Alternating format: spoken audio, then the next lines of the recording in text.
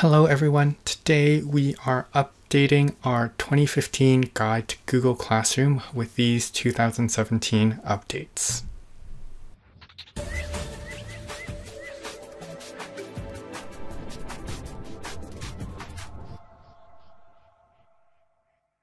For a more comprehensive look at Google Classroom, check out my new book found in the link in the description below.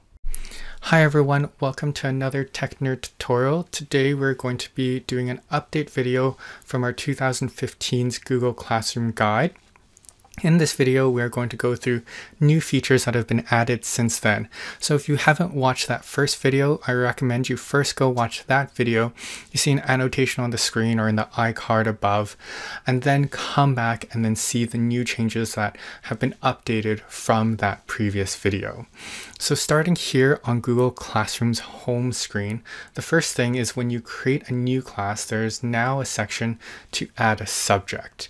So this allows you to add it at the very beginning rather than in the about section.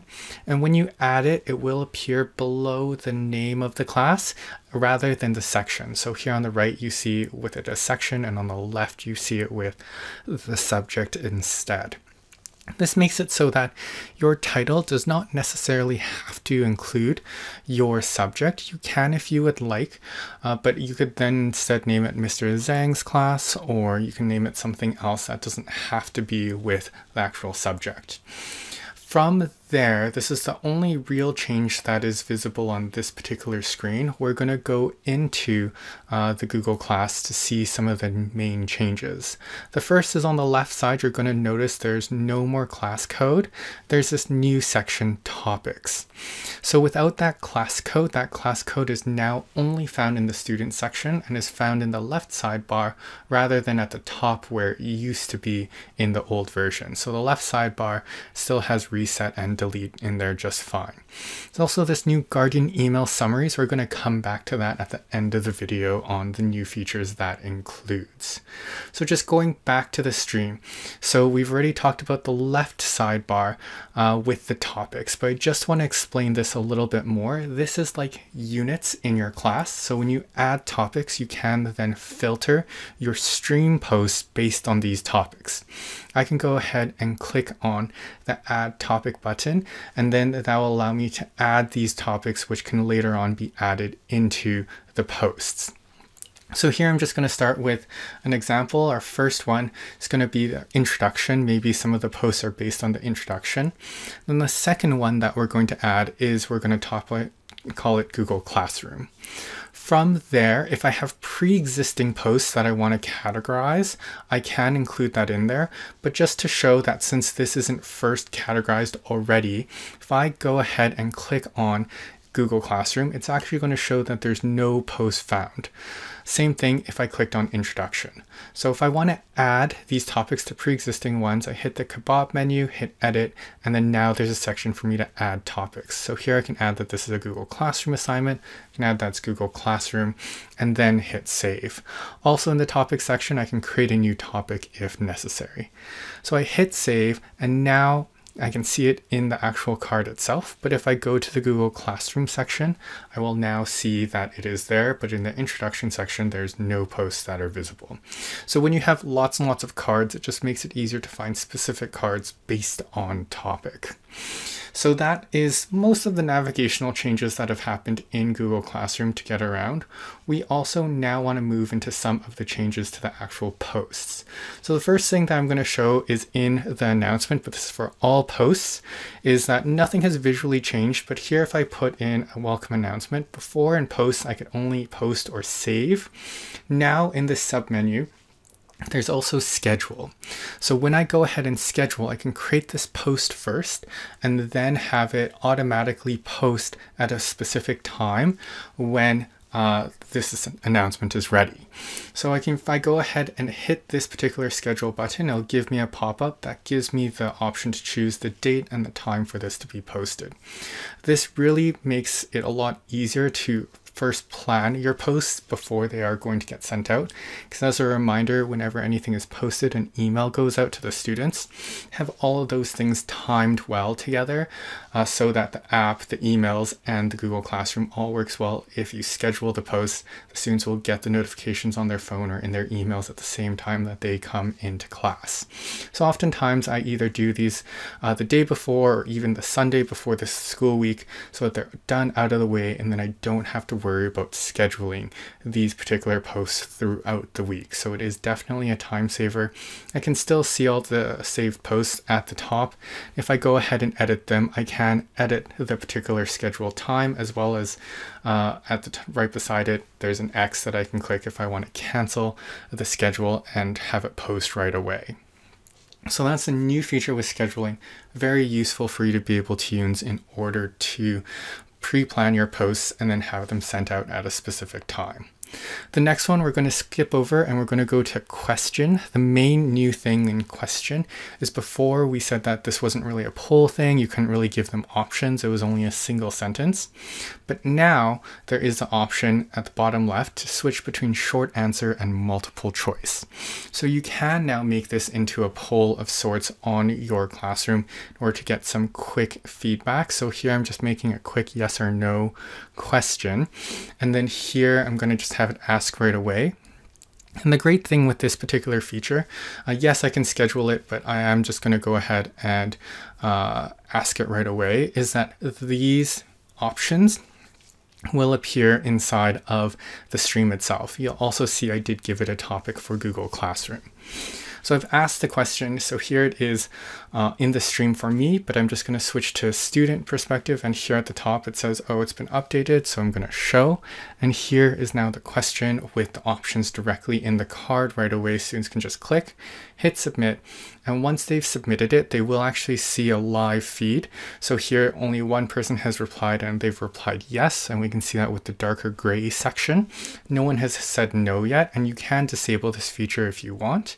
I'm just going to the second student and doing the same thing. And we see now everyone has responded with uh, with the yes and no one has with the no. So that is the new question section and I can still go inside as a teacher and click on the title and from there see also the totals themselves as well as I can click on individual students on the left side and from there be able to see what individual students have chosen. So that's also another way that if you want to take a look and see what students are selecting. So that is the new question type, the multiple choice here in questions. And then from there, I just want to talk about the last post type, the assignments type. So with the assignments type, nothing really major has changed with the assignments, but it has integrated a lot better with Google Forms. Now, obviously, I don't have time to really talk about everything about Google Forms, but previously, if you want to use Google Forms as a formative or summative assessment, it was quite difficult. Now it is a lot easier to do. So I can go ahead and create an assignment.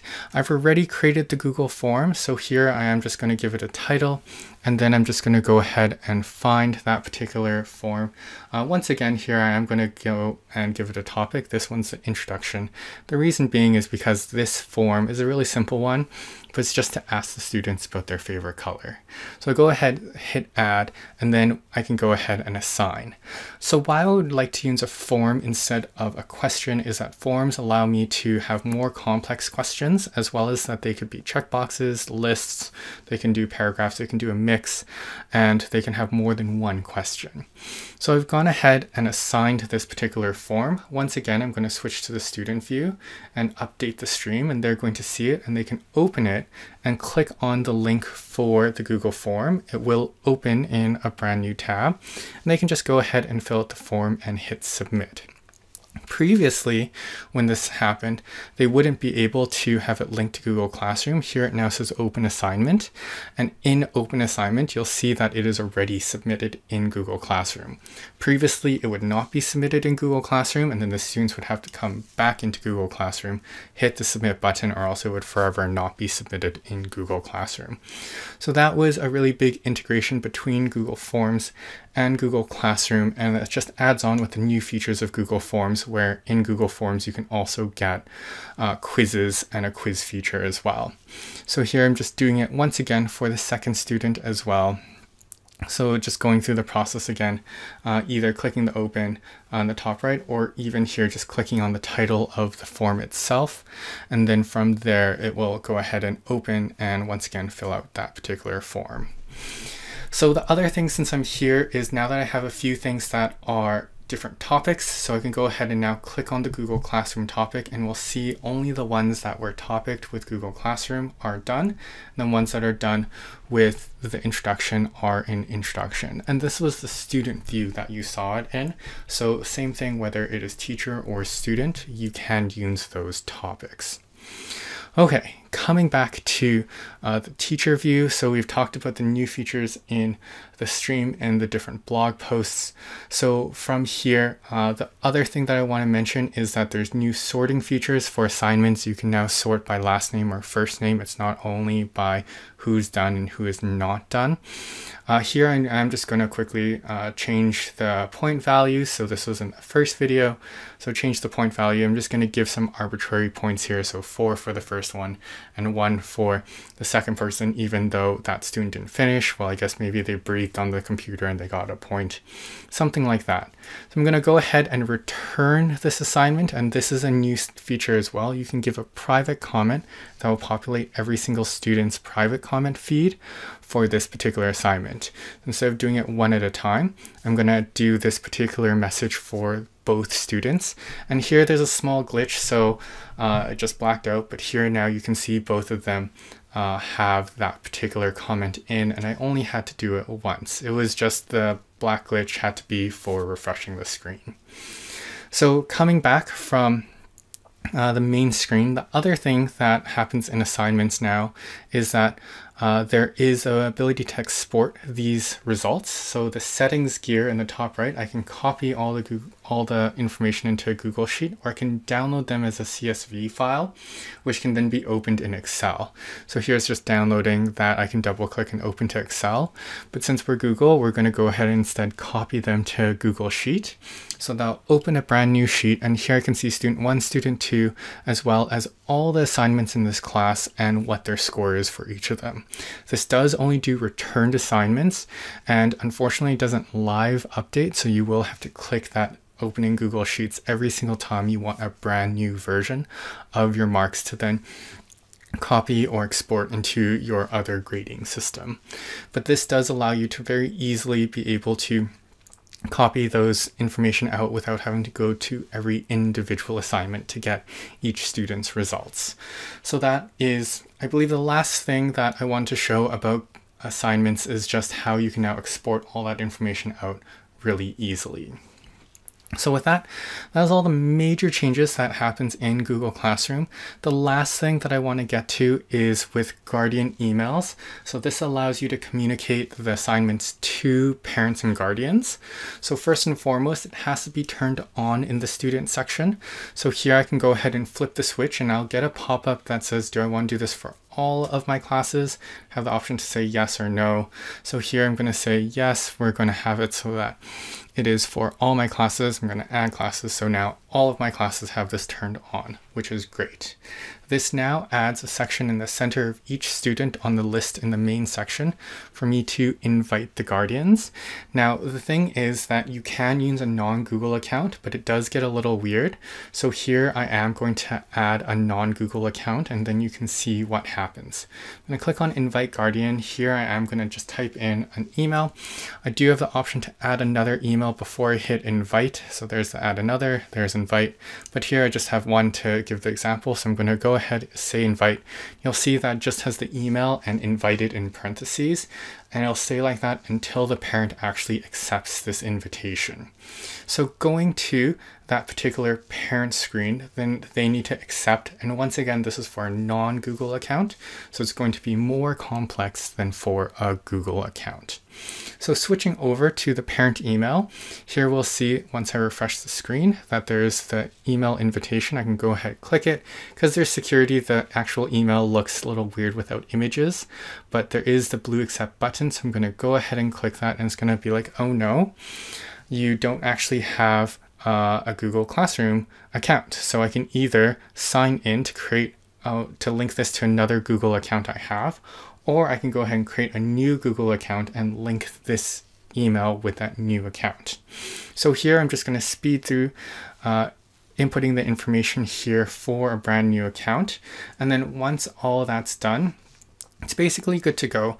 It's really there just so that it can link the third party email to a Google account so that they can actually access the settings.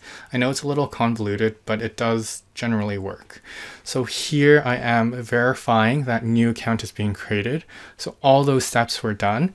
And then now the parent can finally hit this continue at the bottom. And then from there, they'll be able to see uh, the settings for receiving notifications from Google Classroom and all their assignments. So I've gone ahead and hit continue. Here are the settings. The first thing that I can choose is the frequency of the email settings. It will list all my students, so all the children, if there's multiple children with the system. I can choose weekly, daily, or no summaries for each of my individual students. Uh, individual children, as well as change time zones if necessary. So in order to get to this particular page again, uh, the parent would just need to go to classroom.google.com and then from there log in again with their email address and password, and then it will give them their settings. Then on the actual screen for the teacher to know, it will change the email to that guardian's actual first and last name. So then you actually know that they have accepted it. So that is all the brand new things from the last video. I hope that you've learned something new. Uh, thank you so much for watching till the end and I'll see you next time. Hi everyone, thanks again for watching this video. Please don't forget to like this video and subscribe to the channel if you haven't already. And go ahead and leave a comment down below if you have any additional questions or comments. Furthermore, check out some of our related videos or find us in our social media. If you would like email notifications of whenever we release new video or written tutorials, you can go to our webpage technerdservices.com and sign up for our weekly newsletter. We will send to your inbox notifications of those new video and tutorials. Thanks again for watching and until next time, keep teching on.